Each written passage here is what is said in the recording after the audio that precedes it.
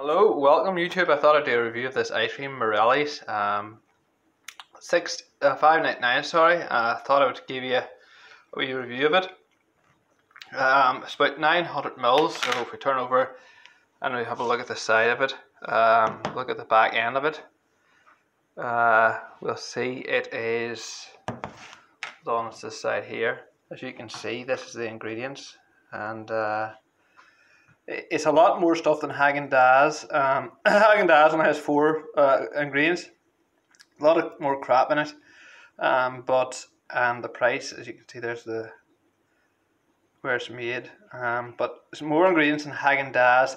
The, the 950 mils, as you see down there, um, it's a bit cheaper than Haagen Dazs. But if you want quality, we'll see what it's like. Um, as you can see, the ingredients there, it says it's made with pre-curd milk, double cream. It says it's butter in there too. Um, we'll see. I thought I'd give it a go and uh, we'll try it out and we'll see what we think. Uh, Dazs has less. There's only a couple of ingredients, um, but this has more. So, um,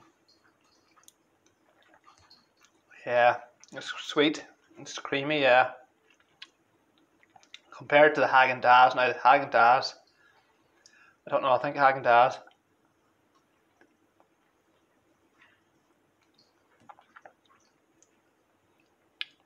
Doesn't really taste the same as Haagen Dazs now. Haagen Dazs is um, it's more creamier. I think it's more. This is sort of a, a different texture on it and a.